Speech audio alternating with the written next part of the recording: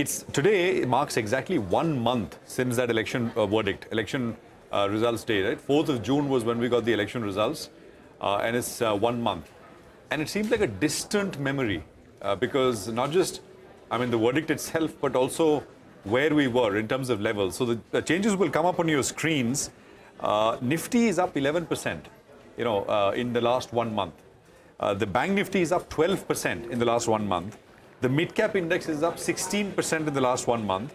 The small cap index is up 20%, and the micro cap index is up 24.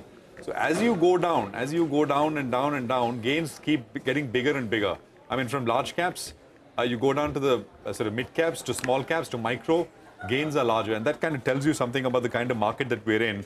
Sectorally as well, same one month return. This is all, by the way, not from the lows of that day when the market had that, you know, Nifty fell 1700 points, but from the close. Uh, so uh, CPSE index 18% in the last one month. That's uh, uh, public sector stocks. IT index 17%. Real estate went up 14. Uh, you had oil and gas up 14, and you had private banks which went up 13%. So this is, uh, you know, quite amazing to really sort of look at and behold. And you know, the what to watch out for, we know there's been earnings, and IT will be first off the block. Stocks have rallied. Budget, we're still waiting for a date. Will it be the 22nd? Will it be, you know, in that week? Sometime that week, we'll get the date, uh, sort of date. Positioning is clearly one-sided, and I think we've been highlighting the fact that one of the data points in that sense is the FI positioning in index futures, which is now close to about 4 lakh crores or so. Uh, but uh, you know, all of this also means that the hunt for new ideas, Nimesh, and we've spoken about this, Yeah. Is is manic. People are acting on, you know, uh, just names, and you know, the first time you hear something, and next you look, the stock is up 10%, 15%.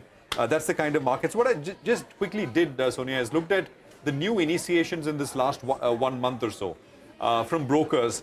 It's actually, and it's uh, it's always like that. It's not the foreign guys, but it's the local guys who are more clued in. So Goldman, I think, is the only large foreign broker who in, who had those initiations. TP, we discussed some of this, TBO Tech and uh, MapmyIndia and Uno India, Uno Minda.